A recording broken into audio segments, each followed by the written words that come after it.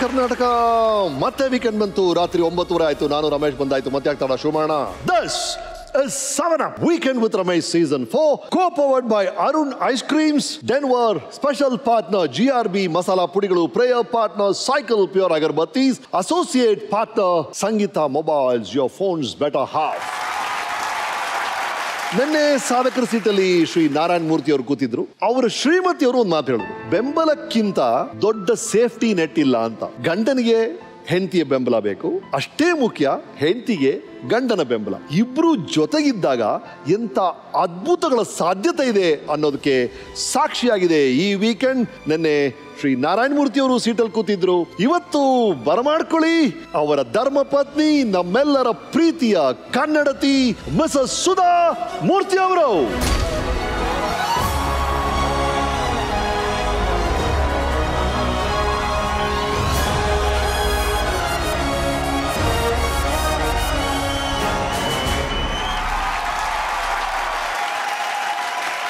Madam ನಿನ್ನೆ ಸಂಚಿಕೆಯಲ್ಲಿ ನೀವು ನಾರಾಯಣ ಮೂರ್ತಿ ಅವರ ಕಥೆಯಲ್ಲಿ ನೀವು ಭಾಗವಾದಂಥ ರೀತಿ, ನೀವು ಅದನ್ನು ಹೇಳಿದಂಥ ರೀತಿ ಬಹಳ ರಸವತ್ತ ಇತ್ತು ಬಹಳ ಖುಷಿ ಕೊಡ್ತು.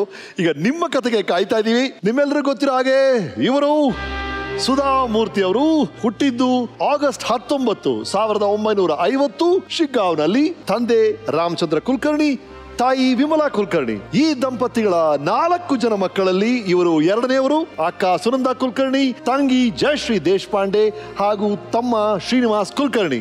ಇವರ ಪತಿ ಐ ಟಿ ದಿಗ್ಗಜ Shri doctor N R Narayana Murthy ಅವರು, ಮಕ್ಕಳು ಅಕ್ಷತಾ ಹಾಗೂ ರೋಹನ್.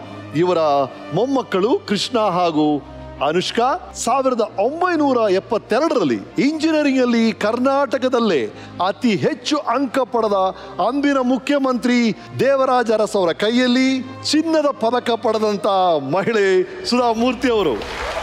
ಸಾವಿರದ ಒಂಬೈನೂರ ಎಪ್ಪತ್ನಾಲ್ಕರಲ್ಲಿ ಇಂಡಿಯನ್ ಇನ್ಸ್ಟಿಟ್ಯೂಟ್ ಆಫ್ ಸೈನ್ಸ್ ಅಲ್ಲಿ ಎಂ ಟೆಕ್ನಲ್ಲಿ ಫಸ್ಟ್ ರ್ಯಾಂಕ್ ಪಡೆದು ಗೋಲ್ಡ್ ಮೆಡಲ್ ಪಡೆದಿರ್ತಾರೆ. ಭಾರತದ ಪ್ರತಿಷ್ಠಿತ ಟೆಲ್ಕೋ ಸಂಸ್ಥೆಯಲ್ಲಿ ಉದ್ಯೋಗ ಪಡೆದ ಮೊದಲನೇ ಮಹಿಳಾ ಕ್ಯಾಂಡಿಡೇಟ್ ಅಂದ್ರೆ ಸುಧಾ ಮೂರ್ತಿ ಅವರು. ಇವರ ಪತಿ ಎನ್ ಆರ್ ನಾರಾಯಣ ಮೂರ್ತಿ ಅವರು ಬಹುದೊಡ್ಡ ಕನಸಾದ ಇನ್ಫೋಸಿಸ್ ಸಂಸ್ಥೆಯ ಬೆನ್ನೆಲುಬಾಗಿ ನಿಂತು ಆ ಸಂಸ್ಥೆಯ ಜಾಗತಿಕ ಮಟ್ಟದಲ್ಲಿ ಗುರುತಿಸಿಕೊಳ್ಳುವುದಲ್ಲಿ ಇವರ ಕೊಡುಗೆ ಅಪಾರವಾದದ್ದು. ಸಾವಿರದ ಒಂಬೈನೂರ ತೊಂಬತ್ತಾರರಲ್ಲಿ ಸ್ಥಾಪಿತವಾದ ಇನ್ಫೋಸಿಸ್ ಸಂಸ್ಥೆಯ ಮೂಲಕ ಶಿಕ್ಷಣ ಆರೋಗ್ಯ, ಸಾಮಾಜಿಕ ಕ್ಷೇತ್ರ, ಕಲೆ, ಸಂಸ್ಕೃತಿ, ಗ್ರಾಮಗಳ ಅಭಿವೃದ್ಧಿ ಯೋಜನೆಗಳನ್ನು ಸೇರಿದಂತೆ ಹಲವಾರು ಸಾಮಾಜಿಕ ಕಾರ್ಯಗಳನ್ನು ಮಾಡುತ್ತಾ ಬಂದಿದ್ದಾರೆ. ಬಾಲ್ಯದಿಂದಲೂ ಕನ್ನಡ ಭಾಷೆ ಮೇಲೆ ಅಪಾರವಾದ ಒಲವನ್ನು ಹೊಂದಿರುವ ಇವರು ಉತ್ತಮ ಲೇಖಕಿಯಾಗಿ ಗುರುತಿಸಿಕೊಂಡಿದ್ದಾರೆ. ಇಲ್ಲಿಯವರೆಗೂ ಇಪ್ಪತ್ನಾಲ್ಕು ಹೆಚ್ಚಿನ ಪುಸ್ತಕಗಳನ್ನು ಬರೆದಿದ್ದಾರೆ. ಇವರ ಸಮಾಜ ಸೇವೆಗೆ ಎರಡು ಸಾವಿರ ಆರರಲ್ಲಿ ಪದ್ಮಶ್ರೀ ಪ್ರಶಸ್ತಿ ಪಬ್ಲಿಕ್ ರಿಲೇಷನ್ ಸೊಸೈಟಿ ಆಫ್ ಇಂಡಿಯಾದಿಂದ ರಾಷ್ಟ್ರ ಪ್ರಶಸ್ತಿ, ಶಾಲಾ ಮಕ್ಕಳ ಕಂಪ್ಯೂಟರ್ ಬೆಳವಣಿಗೆಗಾಗಿ ಅತ್ತಿಮಬ್ಬೆ ಪ್ರಶಸ್ತಿ ಮಿಲೇನಿಯಂ ಮಹಿಳಾ ಶಿರೋಮಣಿ ಪ್ರಶಸ್ತಿ ಎರಡು ಸಾವಿರ ಹದಿನೆಂಟರಲ್ಲಿ ಕ್ರಾಸ್ವರ್ಡ್ ರೇಮಂಡ್ ಬುಕ್ ಅವಾರ್ಡ್ ವತಿಯಿಂದ ಲೈಫ್ ಟೈಮ್ ಅಚೀವ್ಮೆಂಟ್ ಅವಾರ್ಡ್ ಇವರ ಜೀವಮಾನ ಸಾಧನೆಗಾಗಿ ಎರಡು ಸಾವಿರದ ಹತ್ತೊಂಬತ್ತರಲ್ಲಿ ನಮ್ಮ ಜಿ ಕನ್ನಡ ವಾಹಿನಿಯ ಹೆಮ್ಮೆಯ ಕನ್ನಡಿಗ ಪ್ರಶಸ್ತಿ ಕೊಟ್ಟು ಗೌರವಿಸಲಾಗಿದೆ. So this weekend is with Sudha Murthy ಅವರು ಮೇಡಮ್ ನಿಮ್ಮ ಜೀವನಕ್ಕೆ ನಿಮಗೆ ಸ್ವಾಗತ ಒಂದು ಫ್ಲಾಶ್ ಬ್ಯಾಕ್ ಹೋಗಿ ನಿಮ್ಮ ಹುಟ್ಟಿನಿಂದ ಇವತ್ತುವರೆಗೂ ನಿಮ್ಮ ಜೀವನ ಹೇಗಿತ್ತು ಅದರಲ್ಲಿ ಮೇಜರ್ ಟ್ವಿಸ್ಟ್ ಏನೇನು ಅದು ಕಾರಣಕರ್ತರು ಯಾರು ನಿಮ್ಮ ಯೋಚನೆ ಮಾಡುವಂತ ರೀತಿ ಹೇಗೆ ಬದಲಾಯಿತು ಇದೆಲ್ಲವನ್ನು ನಾವು ಜನಕ್ಕೆ ಹೇಳಕ್ ಪ್ರಯತ್ನ ಪಡ್ತೀವಿ ನಿಮ್ಮ ಜೀವನದ ಮೂಲಕ ಸ್ಫೂರ್ತಿ ಪಡೆದು ಇನ್ನು ಹಲವು ಸುಧಾಮೂರ್ತಿಗಳು ಕರ್ನಾಟಕದ ಮೂಲೆ ಮೂಲೆಯಿಂದ ಹೊರಡಬೇಕು ಅನ್ನೋದೇ ನಮ್ಮ ಆಸೆ ಹಾಗಾಗಿ ಲೆಟ್ ಸ್ಟಾರ್ಟ್ ಸಾವಿರ ಒಂಬೈನೂರ ಐವತ್ತು ಆಗಸ್ಟ್ ಹತ್ತೊಂಬತ್ತು ಶಿಗ್ಗಾವ್ ಹಳ್ಳಿಯಲ್ಲಿ ಹುಡ್ತೀರಾ? ನಮ್ಮನೆ ಇದು. ನಮ್ಮನೆ ಇದು.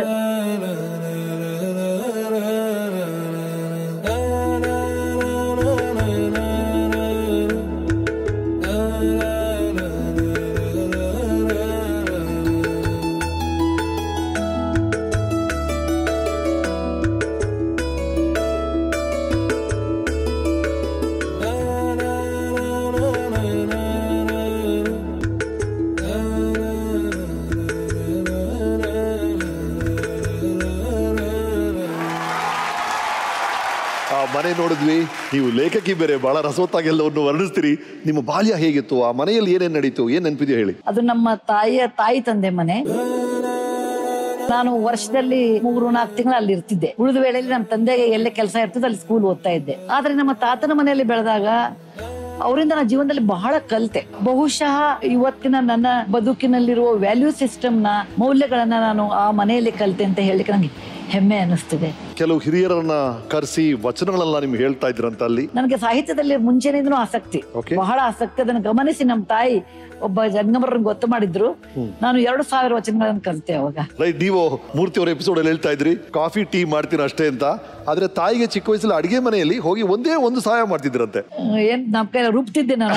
ರುಬ್ತಿದ್ರಂತೆ ಯಾಕೆಂದ್ರೆ? ಯಾಕಂದ್ರೆ ಅದಕ್ಕೆ ಇಂಟೆಲಿಜೆನ್ಸ್ ಬೇಡ ಅಂತಿದ್ದೆ ನಾನು. ಅದಲ್ಲ ಇನ್ನೊಂದ್ ಕಡೆ ಬುಕ್ ಓದ್ಬೋದು ಅಂತ ಓದ್ತಾನೆ ರುಬ್ಬೋದು ಅಂತ ಮಾಡ್ತಿದ್ರಿ ನನಗೆ ನಾನು ಹೇಳ್ತಾ ಇದ್ದೆ ಎಲ್ಲಿ ನಿರ್ಣಯ ಮಾಡೋದು ಬರುತ್ತಲ್ಲ ಅಡುಗೆ ಮನೆ ಅಲ್ಲಿ ನಾವು ಹೋಗಲ್ಲ. ಯಾಕೆಂದ್ರೆ ಉಪ್ಪು ಎಷ್ಟು ಖಾರ ಎಷ್ಟು ಅಂದ್ರೆ ನಾವು ತಬ್ಬಿಡ್ಬೋದು. ರುಬ್ಬೋದ್ರಲ್ಲಿ ಏನಿರುತ್ತೆ? ಬೇಕಾದಷ್ಟು ಹಾಕ್ರಿ. ಒಂದ್ ಕೈಯಿಂದ ರುಬ್ಬಿದ್ರೆ ಒಂದ್ ಕೈಯಿಂದ ಓದ್ತಿದ್ದೆ. ಆದ್ರೆ ನನಗೆ ಓದಿನ ಹುಚ್ಚು ಬಹಳ ಬಾಲ್ಯದಿಂದಲೇ ಇತ್ತು. ರೈಟ್ ಮ್ಯಾಮ್ ನಿಮ್ಮ ಬಾಲ್ಯದ ಬಗ್ಗೆ ಕೆಲವರು ಮಾತಾಡಿದ್ದಾರೆ. ಕೇಳೋಣ. Hi Sudha hello Sudha hello Sudha ನಿಂಗ ನೆನಪದೇನು? ನಾವು ಸಣ್ಣವರಿದ್ದಾಗ ನಮ್ಮ ಮನ್ಯಾಗ ಬೆಕ್ಕಿತ್ತು, ನಾಯಿದು ಗಿಳಿ ಇದ್ವು ಮೊಲ ಇದ್ವು ನಾವು ನಾಲ್ಕು ಬೆಕ್ಕಿದ್ದು, ನಾವು ನಾಲ್ಕು ಮಂದಿ ಒಂದೊಂದು ನಮ್ಮ ನಮ್ಮ ಪಾಲಿನ ಬೆಕ್ಕ ಇಟ್ಕೋತಿದ್ವಿ ಅವು ಹೇಳ್ತಿದ್ಲು, ನಿಮ್ ನಿಮ್ ಬೆಕ್ಕಿನ ನೀವ ಸಾಕ್ಬೇಕು ಅಂತ. ನಮ್ಮ ಪಾಲಿನ ಹಾಲು ನಮ್ ನಮ್ ಬೆಕ್ಕಿ ಕೊಡ್ತಿದ್ವಿ. ಅದ್ ನೆನಪದೇ ನಿಂಗ? ನಾವು ಸಣ್ಣವರಿದ್ದಾಗ ಓದ್ಲಿಕ್ಕೆ ಗಾಡಿ ಹತ್ರ ಕೂಡ್ತಿದ್ವಿ ಪರೀಕ್ಷಾ ಬಂದಿತ್ತು. ಹೋಮ್ವರ್ಕ್ ಮಾಡ್ಬೇಕಾದ್ರೆ ನೀ ಏನ್ ಓದ್ಲಿಕ್ಕೆ ಅಂತ ನೋಡಿದೆ. ನೀನು ಸೋಷಿಯಲ್ ಸ್ಟಡೀಸ್ ಟೆಕ್ಸ್ಟ್ ಒಳಗ ಚಂದಮಾಮ ಇಟ್ಕೊಂಡು ಓದ್ಲಿಕತ್ತಿದ್ದಿ. ಅದನ್ನ ನೋಡಿ ನಾನು ಅಕ್ಕಾಗ ಹೇಳ್ದೆ, ಅಕ್ಕ ನಿಂಗ ಬೈದ್ಲು. ಅವಾಗ ನೀ ಏನಂದೆ ಅಂದ್ರ, ನಾನು ಎಸ್ ಎಸ್ ಎಲ್ ಸಿ ಆದ್ಮೇಲೆ ಮನೆಯೊಳಗೆ ಕುತ್ಕೊಂಡು ನಾ ಬರೀ ಕತಿ ಪುಸ್ತಕ ಓದ್ತೀನಿ ಅಂತ ಅಂದಿದ್ದೆ. ಇಂಡಿಯಾ ಟು ಚೈನಾದು ವಾರ್ ಆಗಿತ್ತು. ಅವಾಗ ಅವ ಎಲ್ಲಾರು ದಾನ ಕೊಡ್ರಿ, ಏನಾರು ಕೊಡ್ರಿ ಅಂತ ಹೇಳ್ತಿದ್ರು. ಅವಾಗ ನಮ್ಮ ಸಾಲಿಗೆ ಬಂದಾಗ ಅವ್ರು ಕೇಳಿದ್ರು, ನೀವೆಲ್ಲ ಸಣ್ಣ ಸಣ್ಣ ಮಕ್ಕಳು ನಿಮ್ಗೆ ಎಷ್ಟು ಆಗ್ತದೆ ಅಷ್ಟು? ಏನಾದರೂ ಕೊಡ್ರಿ ಅಂತ. ಎಲ್ಲ ಹುಡುಗರು ನಾಲ್ಕಣೆ ಎಂಟಣೆ ಏನೇನೋ ಕೊಟ್ಟರು ನೀನು ನಿನ್ನ ಕೈಯಿಂದ ಉಂಗುರ ತೆಗೆದು ಕೊಟ್ಟು ಮನೆಗೆ ಬಂದು ನಮ್ಮ ಅಕ್ಕಗೆ ಹೇಳ್ದಿ, ಇಲ್ಲ ನಾ ಹಿಂಗೆ ಉಂಗುರ ಕೊಟ್ಬಿಟ್ಟೆ. ಏನು ಕೊಟ್ಟು ಚಲೋ ಆತ್ಬಿಡು ದೇಶಕ್ಕೆ ಕೊಟ್ರೆ, ಏನು ತಪ್ಪಿಲ್ಲ ಅಂತಂದ್ಲು. ಶಿಗ್ಗಾಂವ್ಕ ರಜಕ್ಕೆಲ್ಲ ನೀವು ಬಂದಾಗ ಬಸ್ ಸ್ಟ್ಯಾಂಡ್ ಬಾಜುಕ್ ಟೂರಿಂಗ್ ಟಾಕೀಸ್ ಇತ್ತಲ್ಲ ಅವಾಗ ಅಲ್ಲೆಲ್ಲರೂ ಸೇರಿ ಪಿಕ್ಚರ್ಗೆ ಹೋಗ್ತಿದ್ವಲ್ಲ ಸದಾರಮೆ ಮತ್ತೆ ಮಾಯಾ ಬಜಾರ್ ಜಮಖಾನಿ ಹಾಸ್ಕೊಂಡು ನೆಲದ ಮೇಲೆ ಕುತ್ಕೊಂಡು ಪಿಕ್ಚರ್ ನೋಡ್ಕೊಂಡು ಬರ್ತಿದ್ವಿ.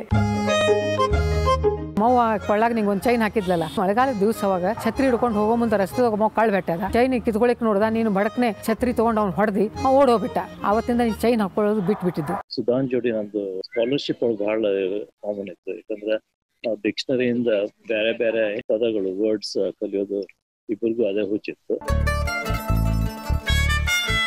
ಸಣ್ಣವರಿದ್ದಾಗಲ್ಲಿ ಕಾಕ ಎಲ್ಲ ಶ್ಲೋಕ ಎಲ್ಲ ಹೇಳ್ಕೊಡ್ತಿದ್ರಲ್ಲ ಎದ್ದು ಕೂಡಲೇ ಮೊದ್ಲ ಭೂಮಿ ಮೇಲೆ ಕಾಲಿಡ್ಬೇಕಾರ ಏನ್ ಶ್ಲೋಕ ಹೇಳ್ಬೇಕು ಕೈ ನೋಡ್ಕೊಂಡು ಏನು ಶ್ಲೋಕ ಹೇಳ್ಬೇಕು ಎಲ್ಲಾನು ಅವಾಗ ಕಾಕ ಕಲಿಸಿದ್ರಲ್ಲ. ಫಸ್ಟ್ ಟೈಮ್ ನೀ ಕತೆ ಬರ್ದಿದ್ದು ನಂಗೆ ನೆನಪದ ಅಂಜೂರಿ ಬಣ್ಣದ ಸೀರೆ ಅಂತ. ನಿಂಗೆ ಹದಿನಾರು ವರ್ಷ ಇತ್ತು ಅಂತ ಅನಿಸ್ತದ ಅವಾಗ ಕರ್ಮೀರ್ದಾಗ ಅದು ಪ್ರಕಟ ಆತು. ದೇವ್ರು ಚಲೋ ಹೆಲ್ತ್ ಕೊಡ್ಲಿ, ಜೀವನ ನೆಮ್ಮದಿಯಾಗಿರ್ಲಿ, ಏನಾದ್ರು ಕನಸು ಉಳಿದಿದ್ರ ಅದೆಲ್ಲ ನೆನಸಾಗ್ಲಿ ಅಂತ ನಾನು ದೇವ್ರಿಗೆ ಬೇಡ್ಕೋತೀನಿ.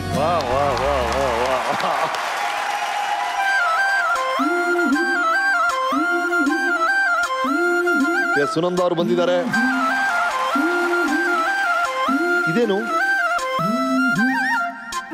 ಈ ತರ ತಿರುಣಿ ತಮಗೆ ನಮ್ಮ ತಂದೆ ಇವಳಿಗೆ ಕೊಡ್ಸಿದ್ರು ತಿರುಪತಿಯಲ್ಲಿ. ಅವಳು ದೊಡ್ಡವಳಿದ್ಲು. ನಾನು ಕಾಂಪಿಟೇಷನ್ ಇಟ್ಬಿಟ್ಟಿದ್ದೆ ಅವಳ ಜೊತೆ. ನನಗೆ ಯಾಕೆ ಕೊಡ್ಸಿಲ್ಲ ಅಂತ ತಿರುಪತಿ ಮಹಾದ್ವಾರದಲ್ಲಿ ಅವಾಗ ರಶ್ ಇರ್ಲಿಲ್ಲ. ಕೂದ್ಲಾ ಬಿಚ್ಕೊಂಡು ಮಲಗ್ಬಿಟ್ಟಿದ್ದೆ. ನನಗೂ ಕೊಡಿಸ್ಬೇಕು ಅಂತ ಹೇಳಿ. ರಸ್ತೆದಲ್ಲಿ. ನೀವು ಹೇಳ್ತಿರಲ್ಲ ಅದೇನೋ ಉಂಗುರದ ಬಗ್ಗೆ ಕತೆ ಹೇಳ್ತಾ ಇದ್ರಿ ನೀವು. ಏನಾಯ್ತದು ಹತ್ತೊಂಬತ್ ನೂರ ಅರವತ್ತೆರಡರಲ್ಲಿ ಇಂಡೋ ಚೈನಾ ವಾರ್ ಆಯ್ತು. ಸರಿ. ನಿಫಾ ಬಾರ್ಡರ್ದಲ್ಲಿ ಅದಕ್ಕೆ ರಕ್ಷಣಾ ನಿಧಿಯವರು ನಮ್ಮ ಶಾಲೆಗೆ ಬಂದಿದ್ರು. ಮಕ್ಕಳೇ ನಿಮ್ ಕೈಲಾದಷ್ಟು ಸಹಾಯ ಮಾಡಿ ಅಂದ್ರು. ಎಲ್ಲಾರು ಇಷ್ಟ ಎಷ್ಟಾಗುತ್ತೆ ಪಾಪ ಮಕ್ಕಳು ಕೊಟ್ರು. ನಾನು ಕೈಯಲ್ಲಿ ಉಂಗ್ರ ಆಯ್ತು ನಮ್ಮ ಅಜ್ಜಿ ಮಾಡಿಸಿದ್ದು ಅದನ್ನ ತೆಗೆದು ಕೊಟ್ಬಿಟ್ಟಿದೆ ಅವಾಗ ಕೊಟ್ರಂತೆ ಮನೆಗೆ ಬಂದ್ಮೇಲೆ ಮತ್ತೆ ರಿಂಗ್ ಬೇಕು ಕೊಡಿಸ್ಕೊಡಿ ಕೊಟ್ಟಾದ್ಮೇಲೆ ಮನೆಗೆ ಬಂದ್ಮೇಲೆ ನಂಗೆ ಇಲ್ಲ ಇವಳ ಕೈಯಲ್ಲಿ ಇತ್ತಲ್ಲ. ಅದ್ರ ಕೊಡ್ಸು ಅಂತ. ನಮ್ಮ ತಾಯಿ ಒಮ್ಮೆ ಕೊಟ್ಟ ಮೇಲೆ ಮುಗೀತು. ಅವ್ಳು ಇಸ್ಕೊಳ್ಳೋದಿದ್ರೆ ಅವಳೇ ಕೊಡ್ತಿದ್ಲು ಅಂತ ಹೇಳಿದ್ರು. ರೈಟ್ ಮತ್ತೆ ನಿಮ್ಮ ಇನ್ನು ಇನ್ನೂ ಇಬ್ರು ಲಲಿತಾ ಅವರು ಮತ್ತು ಲತಾ ಅವರು? ಅವರು ನಮ್ಮ ತಾಯಿಯ ಅಕ್ಕನ ಮಕ್ಕಳು. ನಾವೆಲ್ಲರೂ ಒಂದೊಂದು ವರ್ಷ ಅಂತರದಲ್ಲಿ ಹುಟ್ಟಿದ್ದು ಹದಿಮೂರು ಜನ ಮೊಮ್ಮಕ್ಕಳು ಒಂದು ಹದಿನೈದು ವರ್ಷದಲ್ಲಿ ಹುಟ್ಟಿದ್ವಿ ಸೊ ನಮಗೆ ಸ್ವಂತ ಅಣ್ಣ ತಮ್ಮ ತಮ್ಮ ಅಥವಾ ಅಕ್ಕ ತಂಗಿ ಇರ್ತಾರೆ ಅವ್ರ ನಮ್ಗೆ ಸ್ನೇಹ ಇದೆ ಎಸ್ ಅವರು ನಿಮ್ ಬಗ್ಗೆ ಏನ್ ಹೇಳಿದ್ದಾರೆ ನೋಡಿ ನಮ್ಮ ವೀಕೆಂಡ್ ಟೆಂಟ್ ಅಲ್ಲಿ